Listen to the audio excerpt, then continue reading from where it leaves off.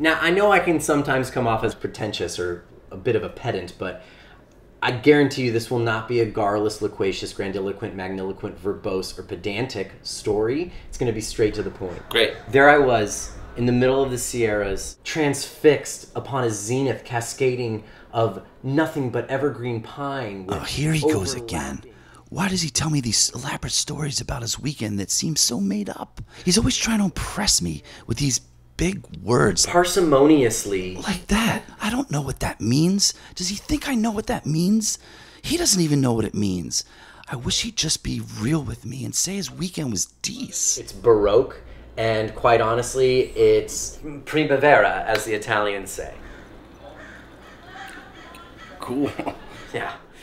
Um, oh, and I went to the museum on oh, Sunday. God, not again. Ineffable. He didn't go to the museum. Nobody goes to museums anymore. I'm just gonna sit here, make listening faces, and zone out. Painting, having my own Just a small town girl.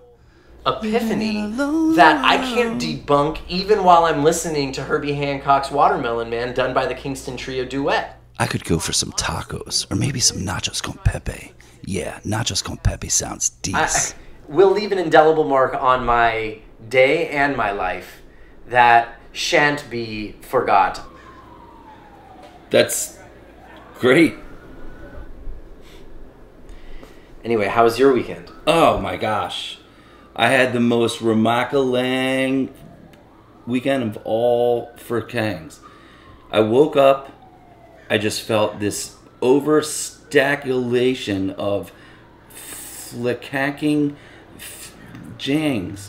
And I thought to myself, you know what I want? A Marnacales cup of Joe. So I walked over. Oh I- and I also- my God.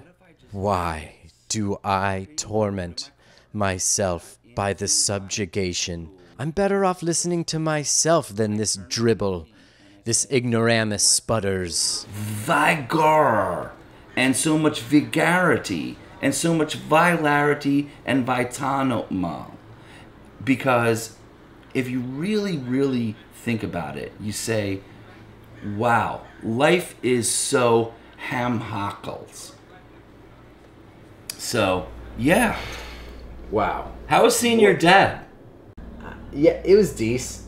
That's so incredible. Run into the bagel shop. One egg left in the box. Bad math, bad math, bad math.